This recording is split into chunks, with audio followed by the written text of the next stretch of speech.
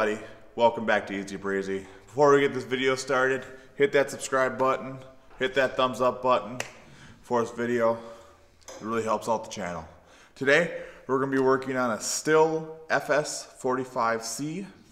Uh, we got it from a customer that was getting rid of a bunch of things uh, that he got with the house when he bought it.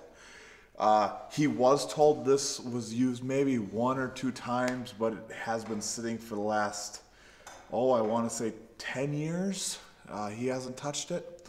So, you know, let's, I haven't even pulled the rope on it yet, so let's see what it does. Now, this is a spring loaded, I believe. Turned over a little, there we go. Okay. Sounds pretty good.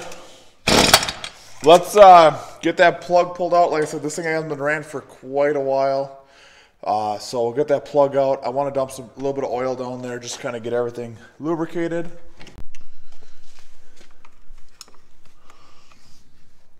Sometimes these can be a little bit of a pain in the butt to get off. There we go. Alrighty. Now we'll grab our plug wrench. It's gonna be a three quarter plug in there. Oh. Boy, that took a little bit to break loose. All right, so get this plug out. And I'm just gonna put some uh, chain oil in her. Oh boy. Yeah, you can definitely see that thing. There we go. She needs a new plug. That's for darn sure. All right, so sorry to keep going in front of the camera. We're gonna just throw some chain lube in there. The reason I like this stuff is because it's thick and it tends to actually stick on a little better.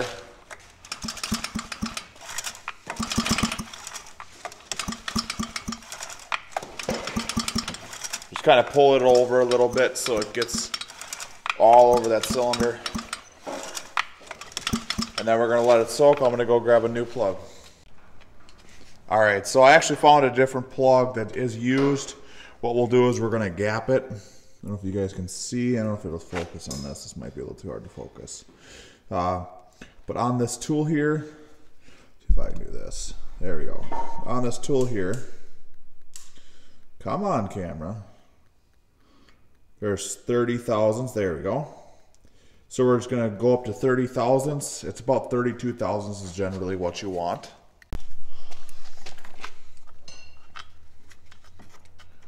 It's always a good idea if these things have been sitting for a while, throw oil down the cylinder. For one, it's to help your compression to start start back up, get those rings back lubricated again.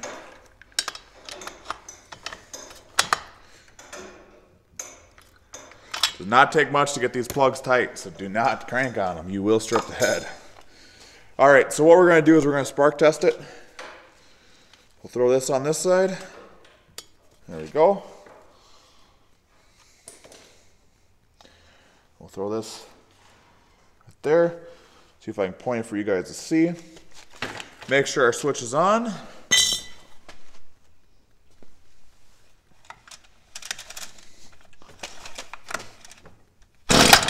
Oh yeah.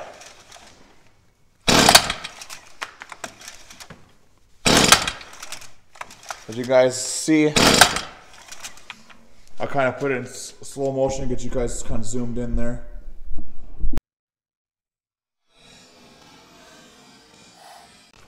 All right, so we'll get that spark tester off there.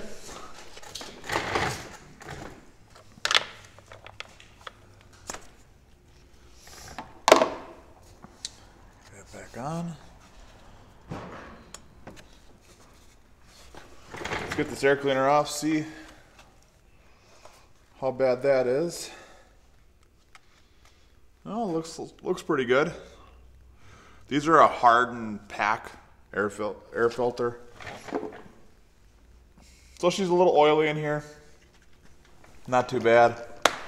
I think what we ought to do is throw some uh, gas in her and see what she does. Let's throw her in.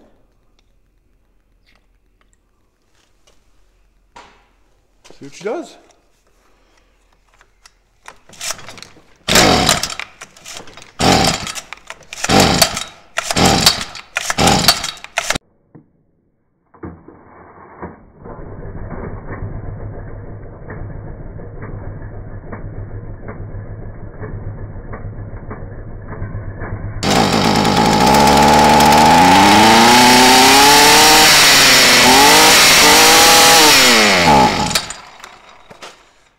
Pretty darn good. All right, so we got two 5 16 bolts down there. Or two nuts, excuse me. A lot of times, nope, these don't fit. When you have impact sockets, they do not fit in there. So let me go grab the right ones. All right, so we got the right socket now. Uh, just a non-impact 5 16 3 8 drive socket. And it is kind of a tight fit, so we'll kind of push it on there a little bit first.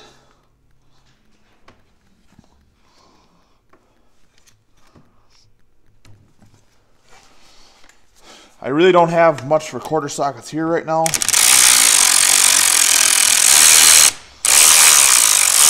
I ended up having to bring them home for another project that we got going on at home.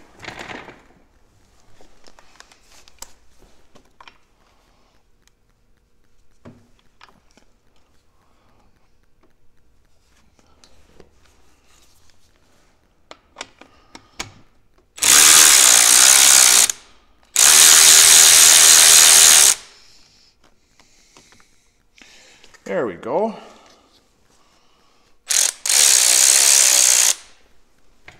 Set that up there with this.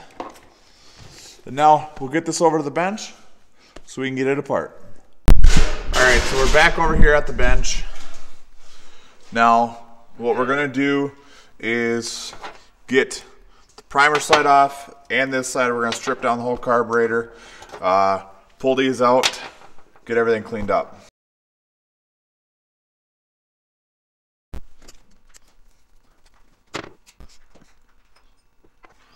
Oh yeah, you guys can kind of see there that some of the, the old gas is kind of left in it. So we're gonna get that cleaned out.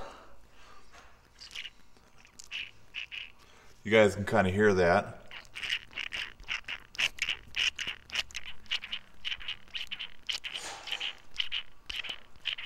Now that's what it's meant to do.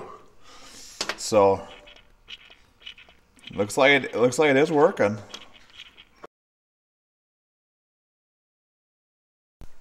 All right, so we got that off.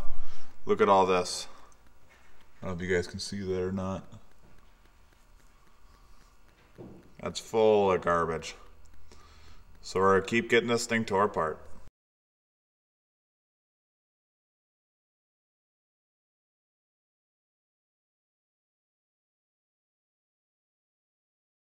All right, so I got all the jets out of it. We did take that little jet out that was right there. Let's get our cleaner.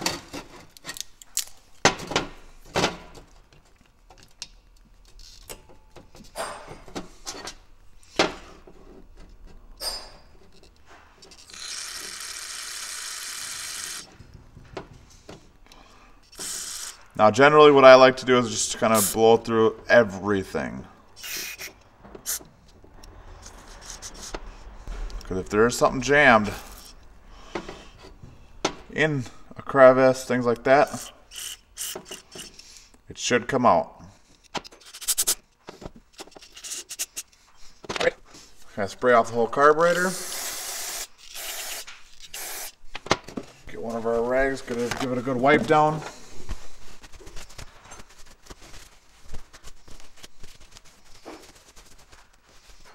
Make sure we get all this rust crud out of here.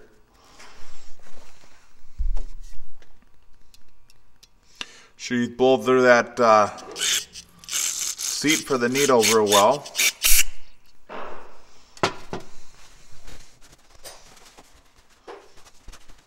All right, let's get her back together.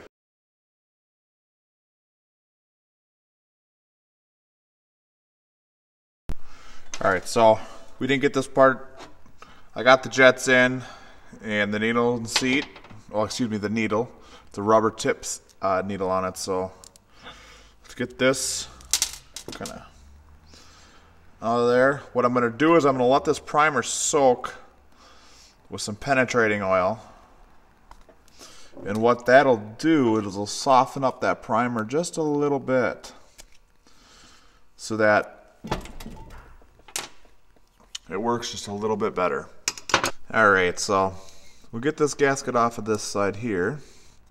One got off. But this thing doesn't have a lot of power on it, come off. See we get that off. That's really all we need to get off is that top one. There we go. See, there's that little bit of crud up here and things like that. That's that's what we'd want to try to get.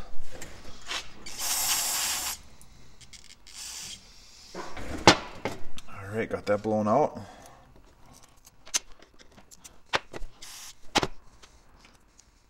That's all cleaned up now.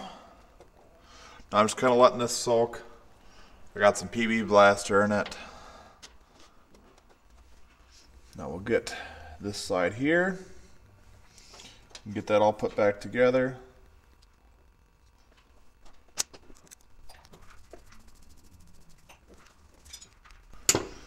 All right. Now, because my hands are a little dirty, I'm going to give it another quick spray out before we put that diaphragm back in. Now remember, this piece here goes towards the, uh, the needle. Now what I like to do is put some uh, PB Blaster in the carburetor before I put this on.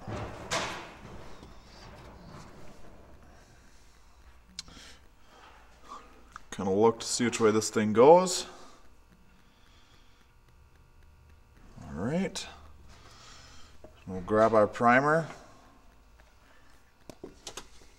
Again, it's got some PB Blaster in it.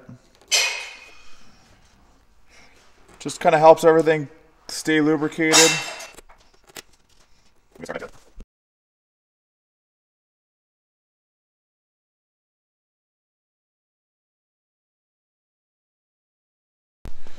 All right, so let's get this carburetor on here so we can get this thing finished up.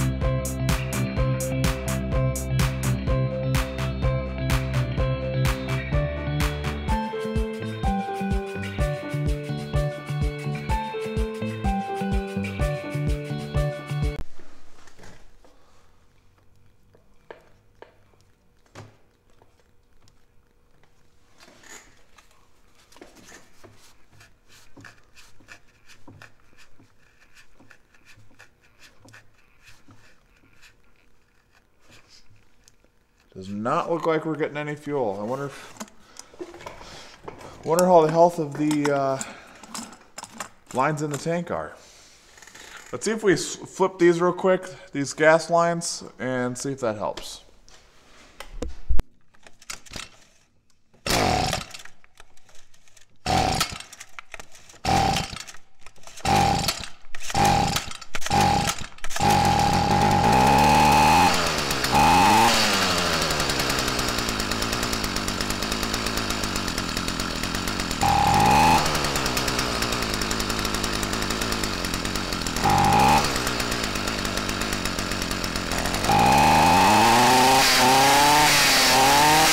All right, so back with the Stihl.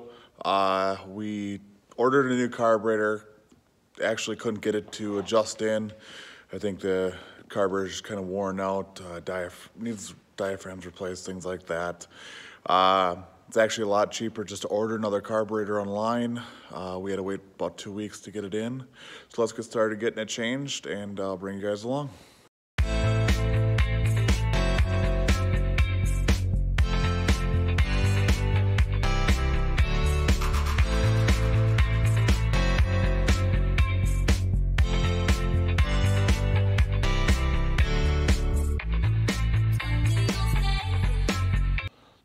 Gonna do now is we're gonna see if we can get this thing to prime up. As you can see, the primer is starting to get some fuel. Well, let's see if we can get her started. Get the choke, get the throttle.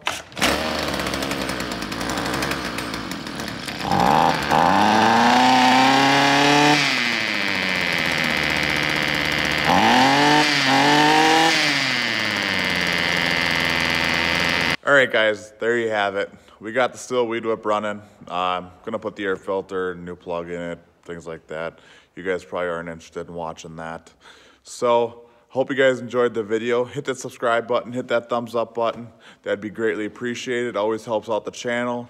Uh, we just hit over 100 subscribers. I want to say thank you guys again. It's quite crazy to think we got that many in just over two months. Um, but you guys made it happen. I hope you guys have a great day.